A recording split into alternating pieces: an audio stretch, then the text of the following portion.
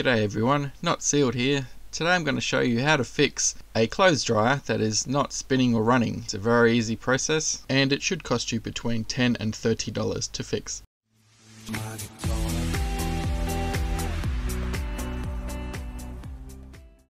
Now today we're going to be looking at this Electrolux 5 kilogram sensor dry clothes dryer. Just going to go through all the steps I do to quickly fault find Make sure that the drum spins easily by hand, that there's nothing jamming between the drum and the outer case, that there's no coins or hair clips or anything jammed in between, everything's moving freely. This drum moves freely, so there's nothing mechanical jamming it at this stage.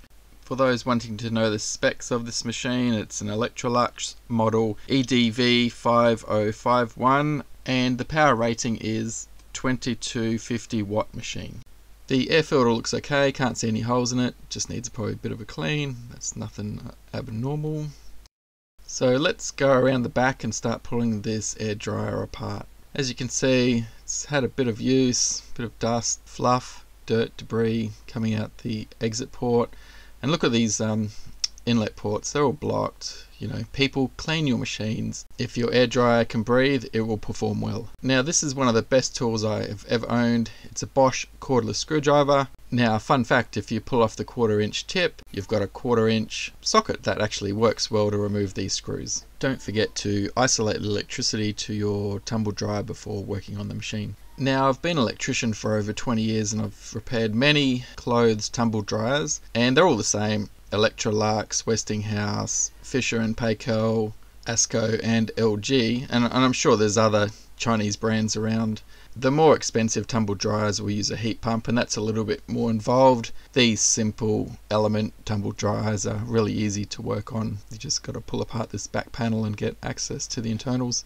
Just be careful as you pull off this back panel because the rear drum will be attached to it as well as a few electrical cables and you've got this, this, tubing for the airflow and the motor drum belt. As you can see there's a lot of clothes fluff everywhere in this machine. These are the heater over temp sensors or thermostats. They will go open circuit and trip the heater elements if the machine gets too hot, but they're working fine on this machine. It's the drum that is not spinning.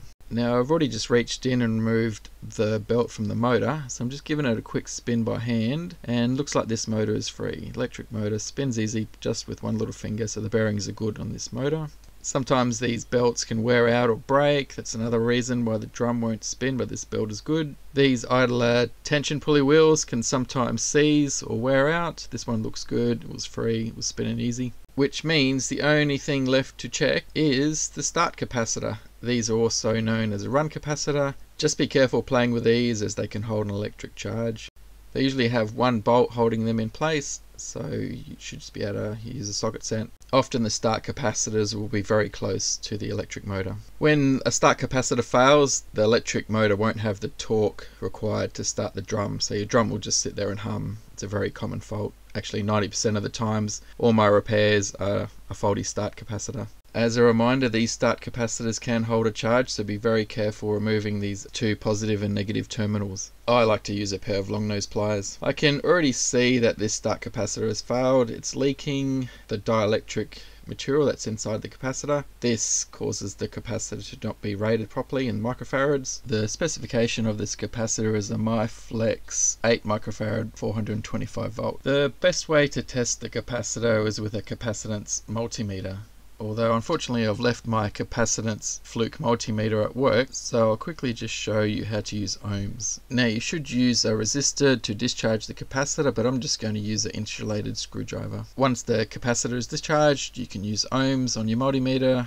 and connect the two leads to the positive and negative terminals and what you should see is the resistance value slowly climbing up which this one is. But that's not to say that the capacitor will break down under a higher voltage. So I've got some other capacitors here we're just going going to test out. These are different sizes, different microfarads, but I can just show you that resistance value will increase as a small voltage is applied to the capacitor through the multimeter. Now it's very important to get the correct size capacitor for your dryer. If it says 8 microfarads, you must get an 8 microfarad start capacitor. The voltage can be higher, so if it says 415 volts, you can get a 450 or 500 volt capacitor. That's no problems. You just can't go under, so you can't get a 300 volt capacitor. I'll leave some links in the descriptions for the parts and tools that I've used if you're interested. And if you like my content and would like to see some more DIY home repairs, don't forget to like and subscribe. So we'll get this part on order and we'll just quickly open this front electrical control panel. Usually there's a bit of fluff and dust in here, so we'll give it a bit of a clean out. Yeah.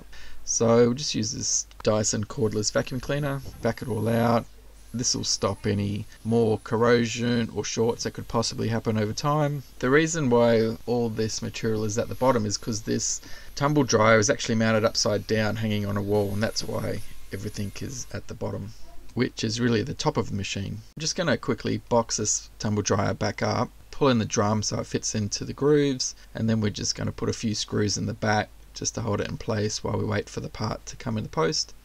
Clothes dryers are one of the easiest household machines to repair. Go ahead and do it yourself. Save you heaps of money from buying a new one. Any questions, let me know in the comments below. Thanks.